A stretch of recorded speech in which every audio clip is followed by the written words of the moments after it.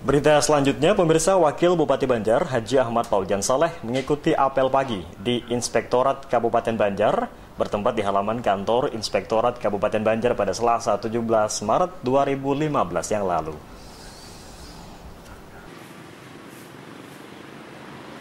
Wakil Bupati Banjar Haji Ahmad Paujan Saleh mengisi hari keduanya masuk kerja di pemerintahan Kabupaten Banjar dengan memimpin apel pagi di kantor Inspektorat Kabupaten Banjar.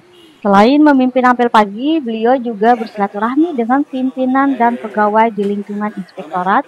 Kedatangan beliau merupakan bagian dari tugas pengawasan internal yang menjadi wewenangnya.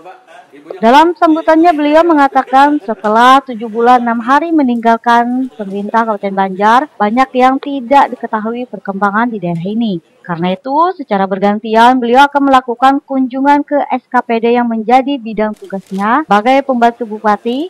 Beliau mengatakan hari ini kita ke inspektorat sebagai bagian tugas dan wewenang kita membantu pengawasan internet di lingkungan pemerintah Kabupaten Banjar. Di akhir kunjungannya, beliau berkeliling meninjau kantor inspektorat. Dedi Aldrin Intan TV melaporkan.